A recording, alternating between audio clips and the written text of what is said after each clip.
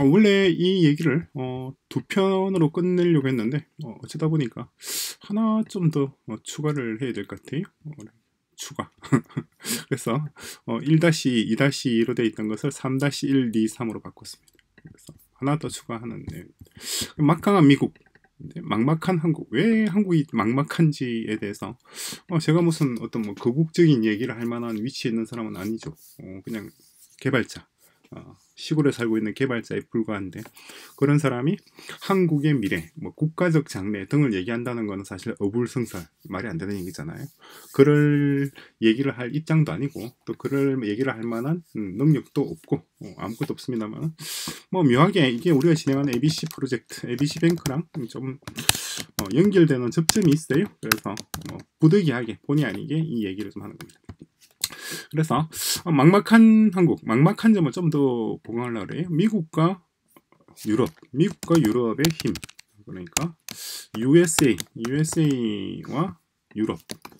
이, 이, 이, 아, 한국이, 그 전에 한국이 잘 살게 됐던 이유부터 생각해보죠. 한국이 왜, 한국이 왜 잘 살게 되는가, 잘 살게 되었나.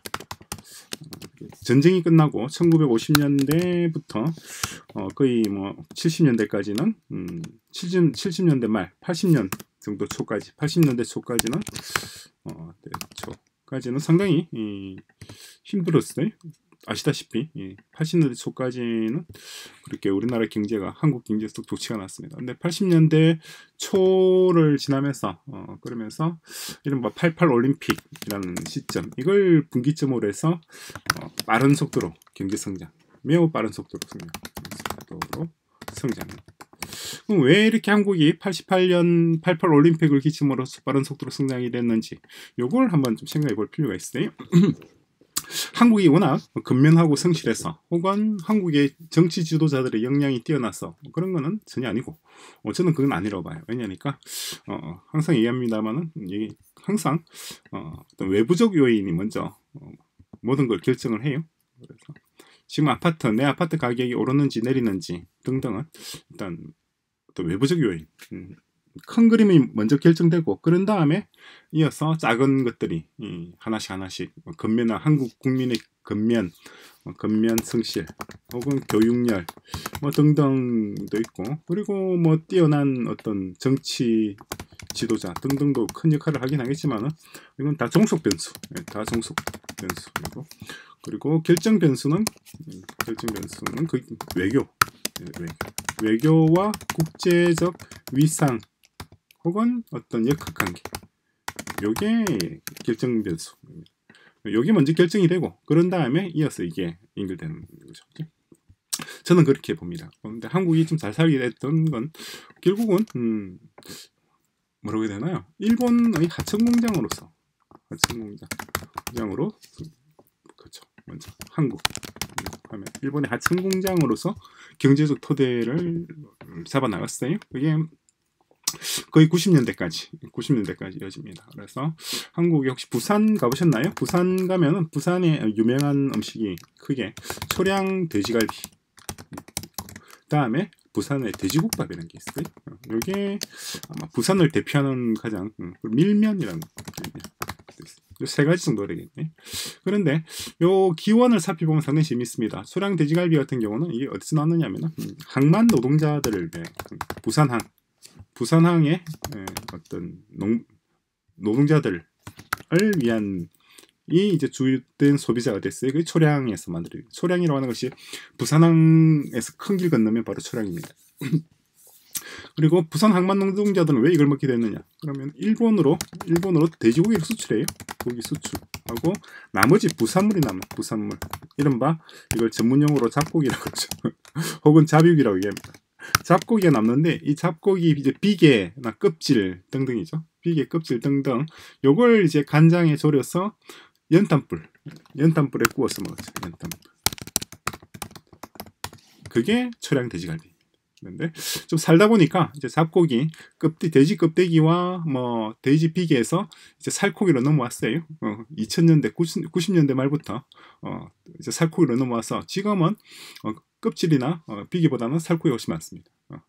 그게 철학 돼지갈비예요. 돼지국밥도 마찬가지입니다. 돼지국밥도 일본에 돼지고기를 수출하고 어, 한국 사람들이 열심히 돼지를 길러서 그 고기를 수출하고 그런 다음에 또 부산물이 나와요. 그 부산물이 내장입니다. 내장. 일본 사람들은 내장을 안 먹으니까 그 내장을 가지고 국밥을 만든 것이 돼지국밥입니다.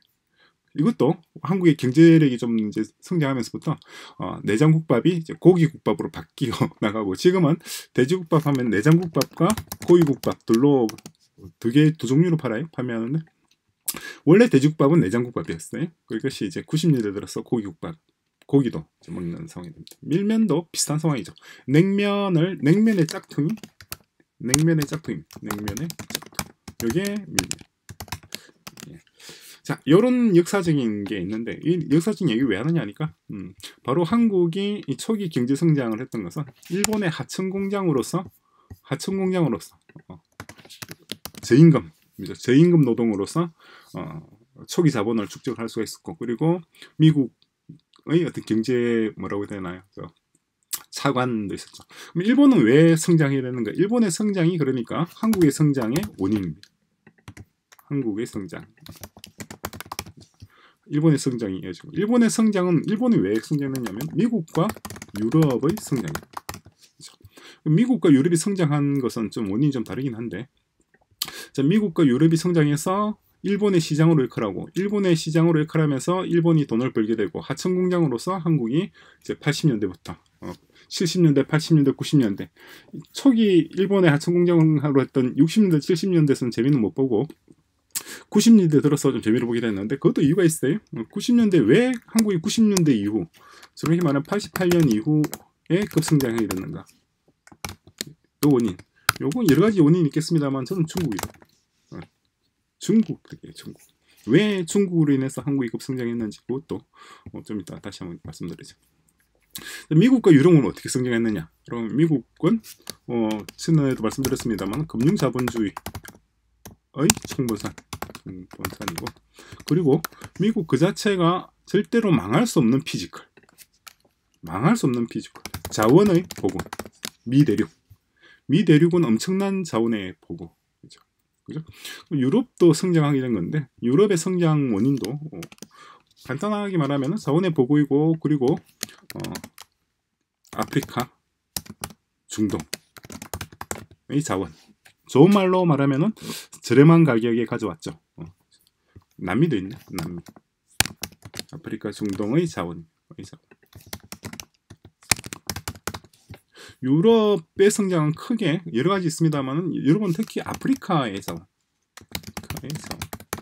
지금도 얼마 전에 프랑스 대통령 마크론이 알제리 가서 어, 욕을 바가지로 먹고 시민들이 처음에 알, 마크론은 어떤 뭐라고 해야 되나 어, 시민들이 자기를 환영하는 줄 알았는데 가까이 가서 보니까 다 욕하고 있는 며칠 전에 지난주였나요? 지지난주에 그런 일이 있었죠 아프리카 자원과 그리고 러시아의 값싼 자원 아, 값싼 에너지 값싼 에너지 요게 성장의 결정적인 부분입니다 그러니까 미국 같은 경우는 좀 다르긴 합니다만은 음, 미국은 좀 다르긴 합니다. 금융자본주의와 자원의 보고라고 하는 이 기본 체력 이게 유럽에 없는 어, 유럽에 없는 미국만이 가지고 있는 어떤 엄청난 뭐라고 해야 되나 특혜라고 해야 되나요? 강점이지만 나머지는 역시 여타 국가의 자원들을 가져오는 거예요. 아프리카의 자원과 러시아의 값을 에너지. 이게 유럽이 성장하게 됐고 유럽이 성장하면서 일본의 시장으로 역할하게 되었고 그죠? 일본의 시장으로 일본이 성장하면서 한국도 하청 공장으로 성장하게 된 것이 이것이 이제 기본적인 패턴이에요. 그래서 이제 한국이 오늘날 어, 선진국 문턱까지 왔다고 그렇게 보는 관점이 있습니다. 관점이 있는데, 근데 지금은 왜 이게 문제가 되느냐니까 이게 지금 다 떨어져 나가고 있다는 거죠. 일단 유럽의 성장, 러시아의 값싼 에너지는 끝났습니다. 이건 더 이상 영원히 영원히 러시아의 값싼 에너지는 조달받지 못해요. 그리고 아프리카의 자원 음, 아프리카의 예, 그 아프리카가 전부 다 그, 거의 유럽의 다 식민지 식민지 자원이었는데 최근까지도 유럽은 아시아의 식민지를 가지고 있었더랬죠. 베트남 전쟁이 바로 어, 유럽 식민지 전쟁이죠.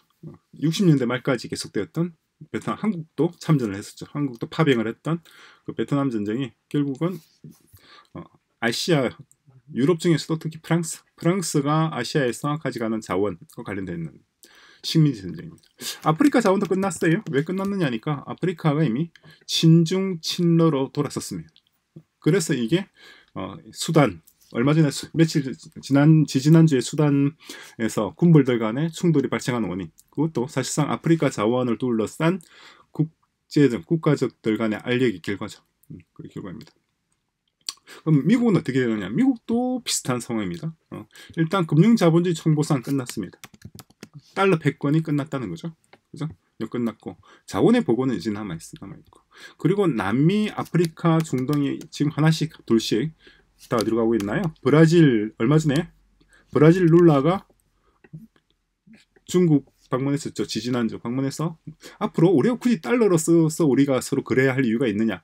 그냥 어, 브라질 레알인가? 레알 주고 어, 중국에는 위안화 우리 직거래 하자 라고 했었죠. 이거 옛날 같았으면 CIA가 바로 암살할 얘긴데 버젓이 하고 있어요.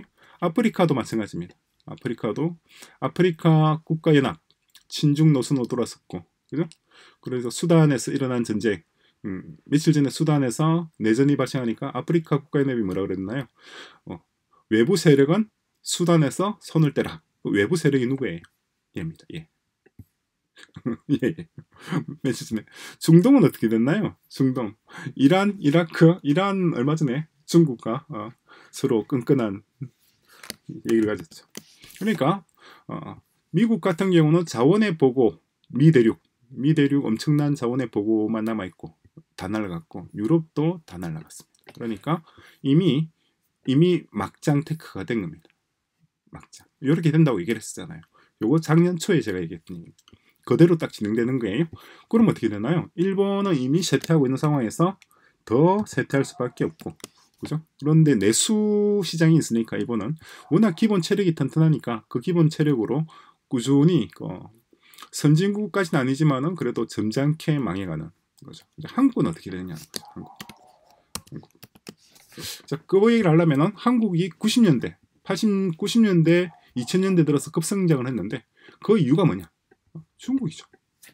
중국에서 전 세계에서 거의 유일하게 중국을 대상으로 막대한 재정 흑자, 무역 흑자를 기록한 것이 한국입니다. 그전 세계 유일하게. 어? 다른 나라는 다 중국의 무역 흑적자로서 원성이 아우성을 치고 있는 상황에서 한국만 흑자예 흑자 계속. 중국에 파는 것이 중국에서 사는 것보다 훨씬 많단 말이에요.